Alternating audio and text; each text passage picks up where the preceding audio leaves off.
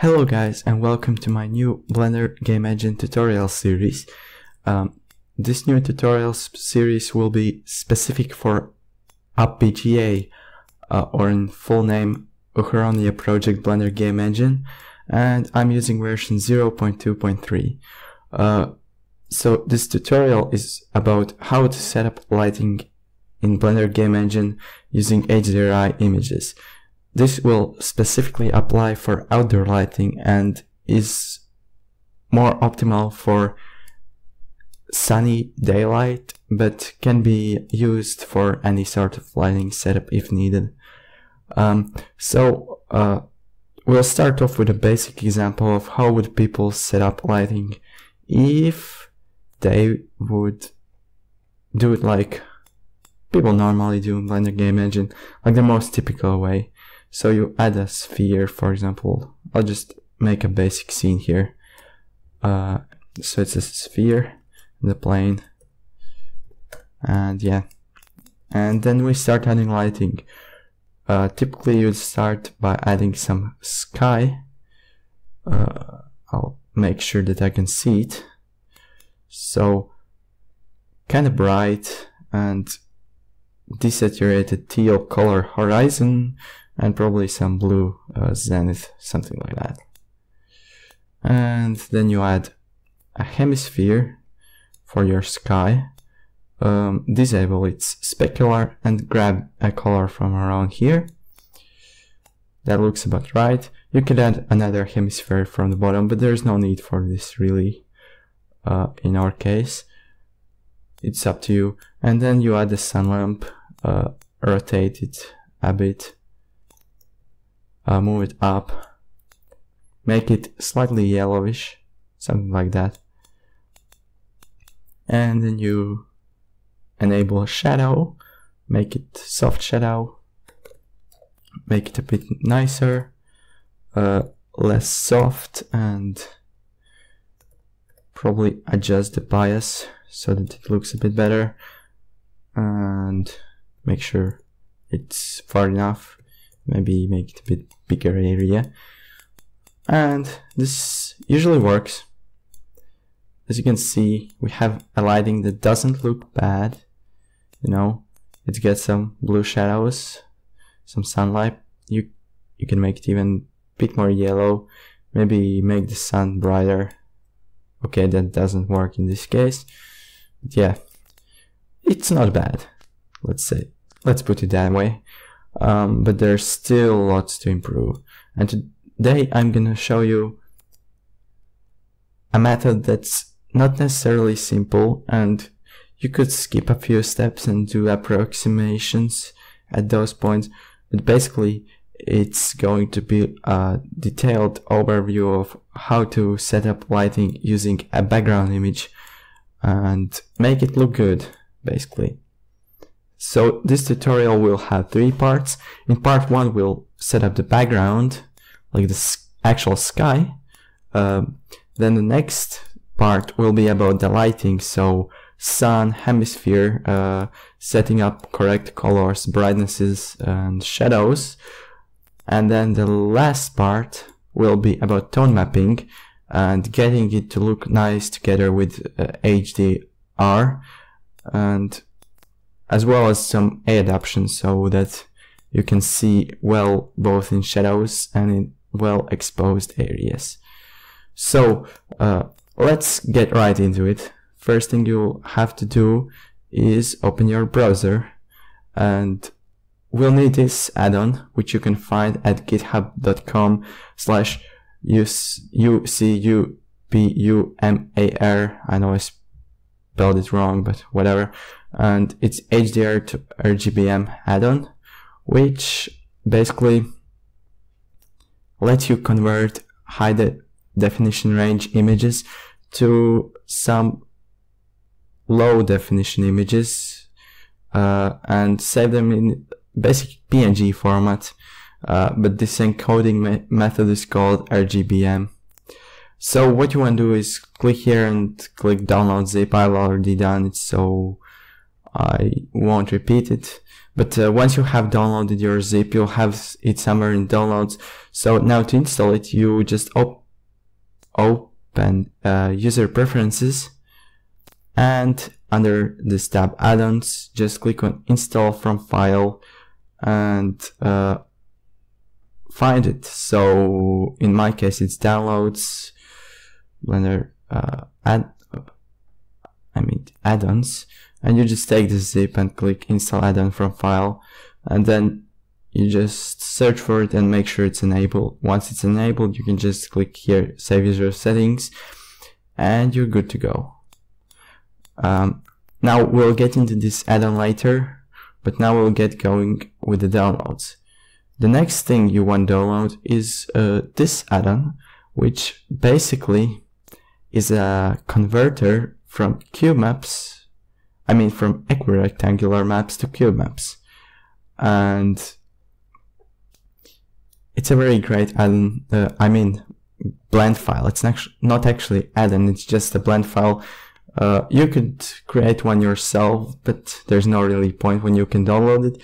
Uh, so you just basically hit this download button and click yes download now. Again, I won't download it right now because the internet in my dorm is just terrible. Um, anyways, once you have downloaded it, you can just open it up. So I think it, I have it under Blender Tools here. Uh, so once you open it up, you'll see uh, it looks something like this. Uh, so there's a cube here, um, a stadium cube up here, uh, a node setup here, and the render settings on the right. The first thing that you'll want to do, there's one uh, problem with this cube UV mapping, and basically uh, those faces will be inverted. So what you want to do is select all the cube, uh, select individual faces here, click Y uh, to split them, and then you just type in R 180 and basically you'll flip them around otherwise it just uh, will generate wrong cube map and you do the same for this one so R180 uh, firstly you press dub, uh, I mean Y to split it and then you type 180 R180 and once you rotated them um, you're basically good to go now what you want to do is create a new texture. So I'll call it just cube map again. It really doesn't matter. Uh, now for the resolution you want uh, height to be any power of 2. For example, I'll make a 2K cube map and this one is the same number but multiplied by 1.5. So you can type it in like that and you get the right resolution. Now, very important part is this, you should enable 32-bit float. So make sure you check that checkbox and then click OK. Now, once this texture is made, uh, I suggest you to go here under the material and make sure to select that specific texture, whatever you called it here. In my case, it renamed to QMap.001, so I just select it here. And this is like uh, now fully ready for you to bake cube maps quickly. So I would suggest you to hit Ctrl S and save it. So uh, now you can easily generate cube maps. Just open this file. Then you select equirectangular texture here and you can click back and it's already. So that's why I suggest you to save it. Now, the last download that you'll need is an equirectangular HDR image by itself. And the great site to find them is hdrihaven.com. Uh, now, this is a site where you can find free Creative Commons Zero HDRIs. And it's really awesome. Uh, if you enjoy this site as much as I do, uh, make sure that you check out its Patreon. Click here for more information. And if you can afford it and if you really like those HDRIs, feel free to support the author because he's a really awesome person for making this great website. Anyways, to get started, you just click here, HDRIs, and once you click it, you'll be greeted by all those sections of HDRIs. Now for our lighting setup, what we want to avoid is HDRIs like this, where there's objects like buildings visible, uh, or maybe your inside interior that won't quite fit well for us. Uh, also large trees like you can see here, that's not an option.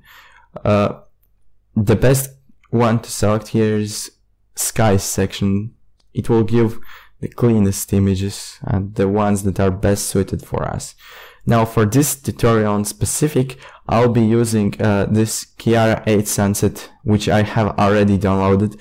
So if you click on one of them, um, you'll see uh, here an option of multiple downloads and you can choose whichever you want. I took the 4K because on my slow internet this one would take very long time.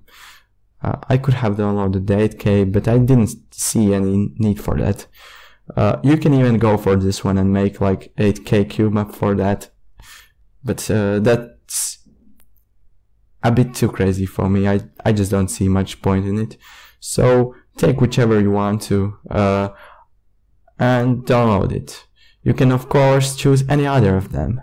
Uh, but if you want to follow along, just stick to this one. Um, now what I suggest you to not take for this case scenario is night images because they don't have sun so they would have different setup probably even simpler one but yeah you can later experiment with it yourself and try to make night scenes and the same applies for overcast like this one also this one for overcast cases I would suggest you to basically do similar things as you would do during night. Basically, hemisphere is the main light source, and then you add a very soft shadowed basic sunlight from the approximate direction from where the most lights come and make it very subtle and dark. And that's how it would work. Uh, Anyways, once you have downloaded this, you can close browser. We won't need it anymore as far as I'm concerned. So now here in the CubeMapper blend file, what we want to do is uh, open uh, that texture that you have downloaded. I have stored it in an HDRI folder. Uh, no, I don't.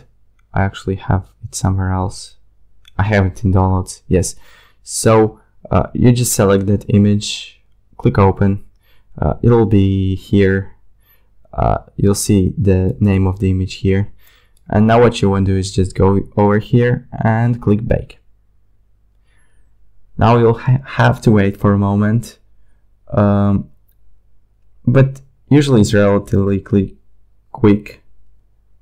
And okay if you see them upside down like this it means I took certain mistake so they should be all facing upwards. So I'm going to rotate all of those UVs um, by 180. So again, you just select the face, click Y, and then R and 180. Uh, and do it for all of the wrong ones. Now those ones, just don't touch them ever. They're always correct from as far as I can tell you. So now if you hit back again, um, we should see QMap all good to go. Now, what you want to make sure is that there are values over there at the bottom here that go higher uh, than 1 if you hover over at around sun. So basically you want to see something like uh, from tens to even thousands and maybe hundreds of thousands sometimes. That depends on how bright the light source is. Here you can see like uh, to 212,000. So if when you hold down the left mouse button you see those numbers, then it's good.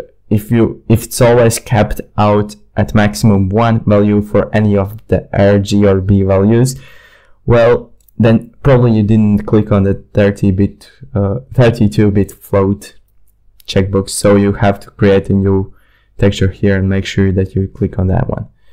Now, once you have this image, I would suggest you to uh, save this one as an uh, HDRI QMAP. So I'll call it uh, Kiara uh, 2K um, and I'll make sure that the format is um, Radiance HDR.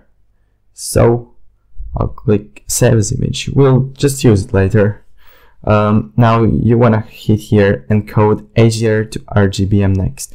That's why we needed that HDR to RGBM add-on. This will convert this image from R image to LDR image. Uh, now it will take a bit of time depending on the size of the image, but usually it's relatively quick and you get um, actually kind of weird looking image because it will be mostly transparent. Um, okay, it's taking quite a bit of time this time. Okay, it's done. So what you get is something like this. Um, most of the image is transparent, but they're around horizon usually. The sky is a bit brighter, so there's higher alpha. And when there, the, where there's sun, you can see very full alpha. So alpha is one around this area. And if you get image like that, then great. We are ready to move forward. So you want to save this image uh, somewhere as .png and now what you want to do is head back to your scene wherever you had it and let's start off by creating let's say UV sphere. Uh, okay before I do that um, so basically I'll explain how this setup will be different for sky. Usually you just enable the colors here or you click on real sky here and then you just add sky texture here for the world tab at textures. Um, usually this would work, but there's one problem. You don't have full material control over here. You can't use nodes there. Uh, and we want to use nodes in this case. So what you want to do is add a UV sphere.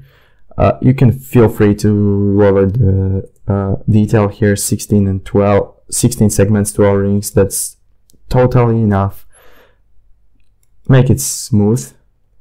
And then in edit mode scale it up to something like 256 and then press S minus 1 this will invert the image inside out. Now what you want to do is uh, you want to have node editor open so you can edit the materials easy. We'll add a new material here and call it sky. Um, so it doesn't matter what you fill in here, this part will not be used. Uh, what you want to do is add a new texture and we'll call it sky as well because I want to. Now the type, we need to select environment map because that will enable us to use QMaps. Now this one will be image file. So you select image file and click open. Now locate your uh, RGBM texture and open it. Once this is ready, you can just disable this texture for this material, even though it won't, won't matter. Now you enable use of nodes for this material here, and you can delete this material from here. We won't need it.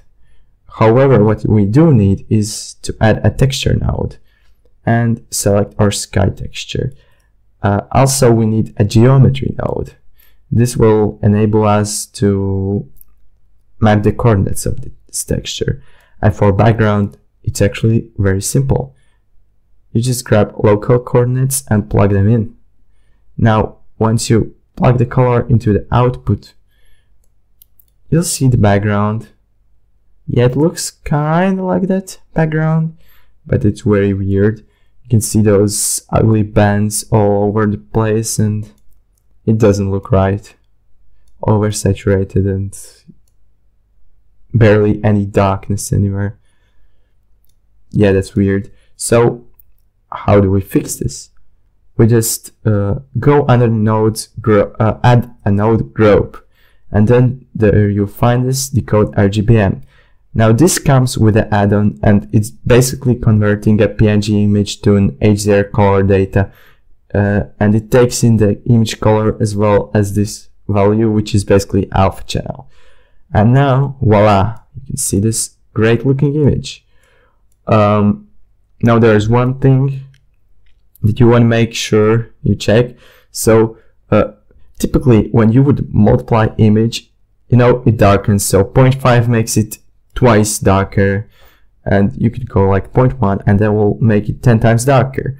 And in this case, no pixel should be brighter than 0.1, uh, basically in the scene. However, if we look at sun, we can clearly see that it's like nearly white here, which means that it's actually high dynamic range. However, if we go down like, uh, for example, if we make it thousand times darker, the sun is nearly gone. However, if you remember correctly, we saw the sun being very bright on that uh, image file itself. You could see values like 200,000 and why they're not here? Why does it get so dark? Well, because RGBM encodes the brightnesses up to 8. It's not a perfect solution.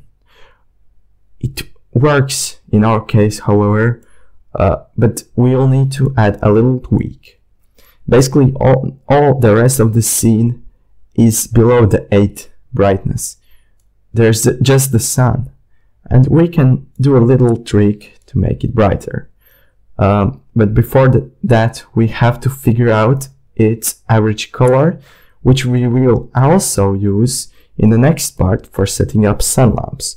So uh, what I would suggest you do for now is just save this blend file and go into compositing uh, tab. Now uh, make sure you have set it to something that set the resolution to something low. I'll use uh, 768 by 512. This will work most likely. Now you want to add camera and just hit um, switch to Blender render, for example, and hit render. Here you have the render results. So yeah, now you just press use node and auto render. Delete this image, add uh, input texture, uh, plug it in here.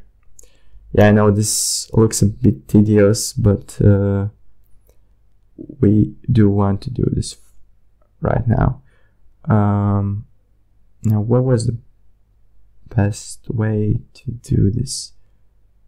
I don't remember right now. I thought it had to map nicely. Oh, I know. Uh, I'll select the other image. What you want to have is make sure this image is set to image or movie. Alright, now it's working fine. And what you don't want it to do is use alpha. Oh no, you want. You want it to do Wait a sec. Oh, yeah, sorry. You have to open the HDRI image. I make, made a little mistake here. Um, and if you have that HDRI image for this texture, then uh, you'll see uh, the proper image. Now you want to find where the like core, the center of sun is, and it will be easier if you make the image uh, darker by a set value. So I'll just multiply it by maybe um, let's just take value it will make it easier and I'll multiply it by 0.01 so it's 100 times darker and you can see that it's still like 3000 here and so it's extremely bright. And now what you want to do is uh, figure out like the average color of the sun core uh, I'll add three mix nodes. Each of them will have a mix factor of 0.5 and you want them to slowly converge into one. Uh, I know this does sound a bit like a hacky way to figure out sun average color. Uh, you could find an easier way, but I like this because it gives a bit more accurate results for me. And, uh, well, yeah, that's basically the only reason. Uh, so now you want to start from outside and slowly move inward and the outer ring will probably be uh, around here where it starts to fade into the sky. Here there's all, already sky and it's just the atmospheric scattering. Well, technically it's the same for here, but you can already see some very bright pixels. So I would suggest starting from around here and just slowly move like inwards. Um, what you'll most likely see happen is um, those colors will slowly get brighter as you move on. But you won't be able to see it like here it looks white and here it also looks white but they're different colors. They're quite different to be honest with you. I just want to make sure I have picked this one into the account. So it's like here. Now it's a bit higher you want to make sure that one of them is like the brightest possible pixel. Uh, it's not picking up the right up the right thing. Okay now it should be yeah. Uh, otherwise you'll probably get too dark values. So you want to have picked a color of every and then it will average out for this whole big spot. And once you have it average out actually you don't need this one you just plug it in here. And you can see those values here.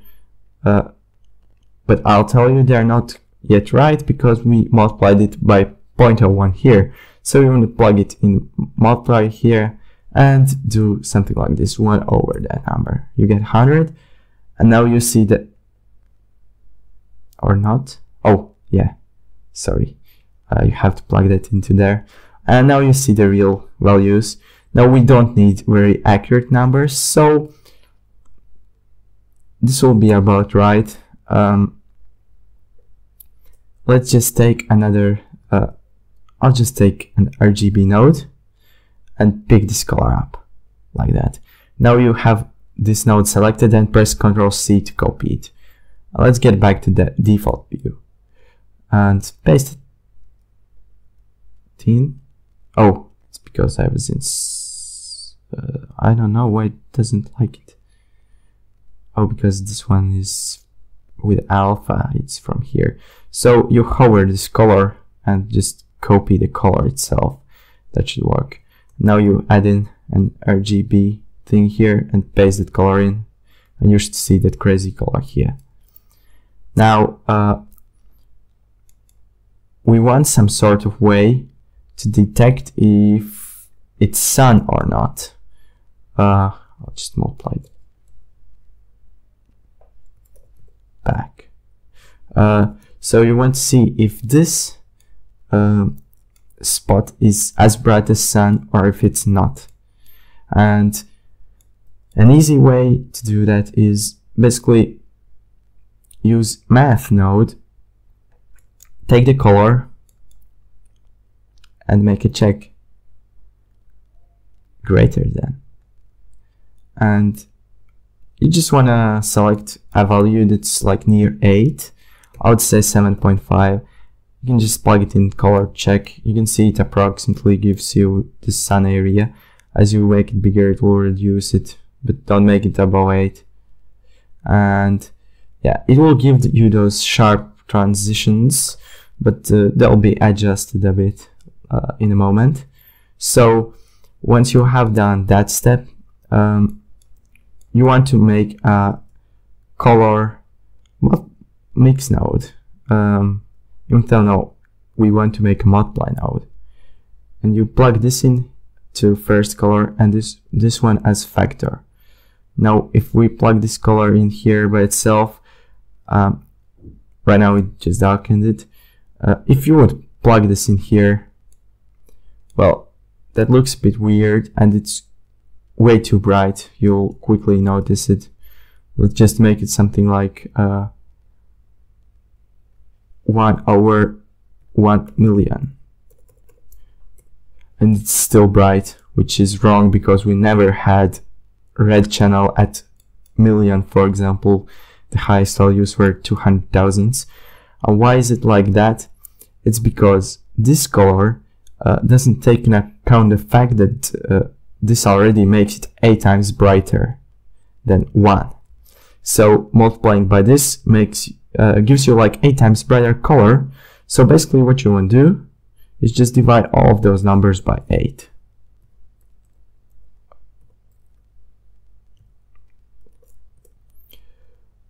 Uh, I think I didn't do it for this one. Yeah. And now you don't need this multiply thing anymore. If you just plug it straight in. Uh, well, you can test it for brighter values as you scroll it up.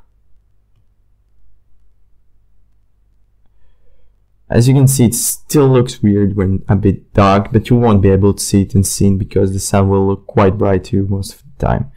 So now, as you plug this in here, basically we have an HDR ready uh, sun in our scene. Um, and that's all we need needed to do. So now I'll remove this camera and I'll make sure to save this file. So in the next tutorial, we'll add um, objects in the scene and lighting. So we'll add sun, hemisphere, and uh, we'll also add reflections on the object. And the main reason why we did all this uh, making sun super brighting are reflections. And you'll see why in the next tutorial. So stay tuned and see you next time.